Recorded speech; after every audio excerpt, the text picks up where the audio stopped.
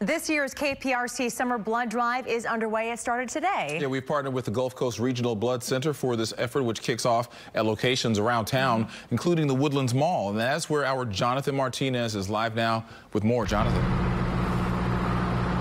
Guys, the blood drive is in full swing. Always a great event for us. At this particular location, appointments are required, but again, there are several locations across the Houston area right now where you can come out, you can help to donate blood, and you can potentially help to save lives. Joining us right now is Dina Whitaker. Our big sponsor this year is McDonald's. She is an owner and operator of McDonald's out here. Talk to us about why it is that you all partnered with us and the importance of it.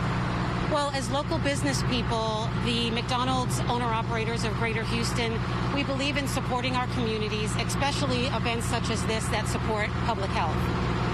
So I know that when folks donate, they'll be getting free T-shirts out here, but of course, you all are also offering other incentives as well. We are. We are offering a coupon for one of our free Minute Maid slushies from McDonald's. The one that I have here is pink lemonade. Uh, you can get any flavor you'd like. We also have fruit punch as well as blue raspberry. And I will be drinking this after I give blood because we know that we have to get our blood sugar back up. So it's a great treat after you give blood. Obviously, we're dealing with COVID-19, but you've been in here for the past hour, so you've seen people in here donating. Talk to us about the need right now and the importance of giving.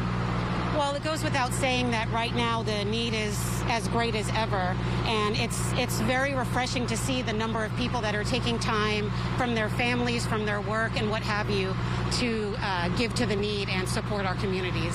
All right, Dina, I appreciate it so much. And you said you've got an appointment. You're about to go donate. Yeah, I'm about to go in there, and I'm going to drink my slushy All afterwards. Right. Dina, thank you so much for taking part in this interview for us. Again, this is one of several locations that is going to be set up across the Houston area. We've got all the information. You are encouraged to make appointments. You can find all that info on our website at click2houston.com. Reporting live for the Woodlands, I'm Jonathan Martinez, KPRC, Channel 2 News.